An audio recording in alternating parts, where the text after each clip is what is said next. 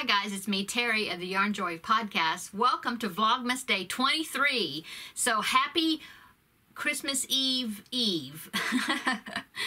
okay, so let me show you what I've done on my rectangle granny. Okay, so this would be days 1 through 22 of the yarn, uh, scrap ball yarn um, swap that I'm doing with Kayla of Llama Mama Kayla. Okay, so let me get this it's getting to be a very nice size. I'm really loving it. so yesterday's color was this orange. It's like a pumpkin orange type color, okay? And so the ball was a pretty good size ball. And so, um, let me show you that green. I was talking about talking to you about that green corner that kept uh, staying. It wouldn't. It wasn't getting um, covered up. it got covered up. so I'm glad for that. Okay, so let me see. I started, um, yes, I started right here. And so I got around the rest of this long side, okay? And then the whole short side. And then this whole long side.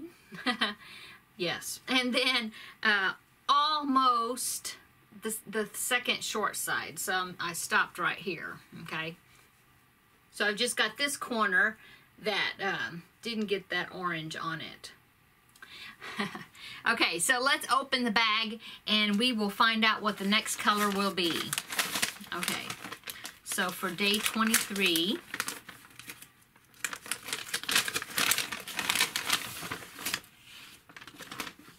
okay, it's another multicolor.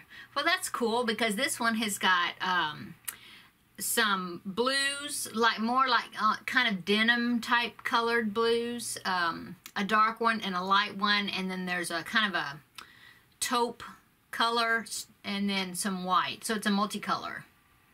Very pretty. And so uh, this is going to uh, bring in some more blues because I've had, I've noticed right here on the edges that I've had lots of pinks and oranges all there together. And so now this one is going to bring in a different color back into it again that have picks up some of these blues. So that'll be cool. so that is the color that I'm going to be adding in to the next um, the next round of my blanket. Okay, and and also in the sack in the little baggie, she had a uh, another chocolate for me. So thank you, Kayla. Okay, so for the movie I'm going to be watching today, well, yesterday I watched The Bells of St. Mary's and I enjoyed that very much. There is a Christmas scene in there. I had forgotten about it because it had been a while since I've seen it, but there is a uh, section of it that's a Christmas scene. Um, it was really cute. It was, it was, um, it's like these kindergartners or first graders and they're like gonna do a christmas play and and it was like their interpretation of the christmas story and it was so cute. It was very cute. Okay and so uh, oh and i noticed that there was an of course i was telling you that was ingrid bergman was also in the movie besides Bing Crosby but there's another woman in the movie and i think I think it was Rosemary Clooney who played in with Bing Crosby in Bing Crosby in White Christmas, and I think that's who that was. I didn't look at the credits. I should have looked it up to see if that's really who that was, but it looked like it was her. Okay, um, so today's Christmas movie that I'm going to be watching was suggested to me by a viewer, so thank you very much. And I'm be, going to be watching the movie called Klaus. It's spelled K-L a-U-S, Claus, Klaus. It is a uh, animated movie. I think it's new, and it's from Netflix, so it's on Netflix. Um, so that's what I'm going to be watching today. Um, yes, and putting my yarn in. Okay, let's go to the trivia questions. Okay, so yesterday I gave you three trivia questions, so let me give you the answers to those. Okay, Whoop, let me find them here. Okay, number one, why are candy canes shaped like shepherd hooks? And according to Christian interpretation of the meaning of them, it's to remind us of the gifts that the shepherds brought to baby Jesus. Okay.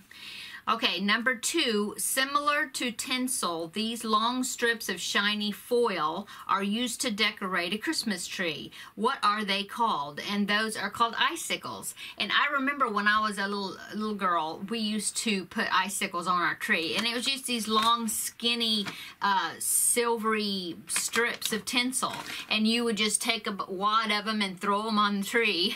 and I remember our our Christmas tree growing up when we had when we used a real tree, um, we would put that, on the tree. And then also, I remember my grandmother would use that on her tree as well. I don't think people do that on their trees anymore. But uh, I do remember in the movie It's a Wonderful Life, and I remember uh, watching, seeing the scene where the children are decorating the Christmas tree and they're putting the tinsel on there. So, um, yeah. So, uh, do y'all remember using tinsel? Those and they, they were icicles, and I guess I mean you didn't like take them off and use them the next year. I guess you just they just were thrown away with the Christmas tree, um, and then used more next the following year. I suppose. I don't remember getting them off the tree. That would be a lot of jo big job. okay, so the answer was icicles. Okay, number three, in 1947, Gene Autry recorded a, a song in which he told listeners to hang your stockings and say your prayers because Santa Claus is coming tonight. What is the name of that song? And it was Here Comes Santa Claus. Okay, right down Santa Claus Lane. now are you singing it in your head? okay. Um, number one for the new trivia questions, okay? What did Noel mean in Latin before it was being used for Christmas, okay? Number two, where did the Nutcracker Ballet, where did it actually start and when? And then number three, red and green are the two colors most associated with Christmas. What other two colors are extremely popular in the Christmas season? Okay, so that is our trivia questions for today. I was telling you uh, that the movie I was watching today is Klaus or Claus. It's in um, it's on Netflix. Okay, and uh, the color that I'm going to be putting into my uh, blanket today. Okay, so let's see. What have I done today? Well, I had to get up really early this morning. My son had to be at work at 7 o'clock. and so I took him to work. And then um, since I was already out, I went ahead and went to the grocery store and got my, hopefully, all the groceries that I need for the next few days. I won't have to go back, hopefully, until after Christmas. Um, and so I went ahead and did that, in which it was super early, and so there wasn't that many people there. But really, when I was leaving the grocery store around 8, 8, 8.30, it was already beginning to, people were already kind of beginning to... Um, come in. So, uh, but when I was there, it was there was not that many people there. So anyway, got all my shopping done. I think uh, came home. Um, oh, and then I've been working on my um, the. Uh, Charlie in the box for the Rudolph set. Uh, I did another arm and I finished his box that he sits in, except I have to make the lid. I haven't done that part yet.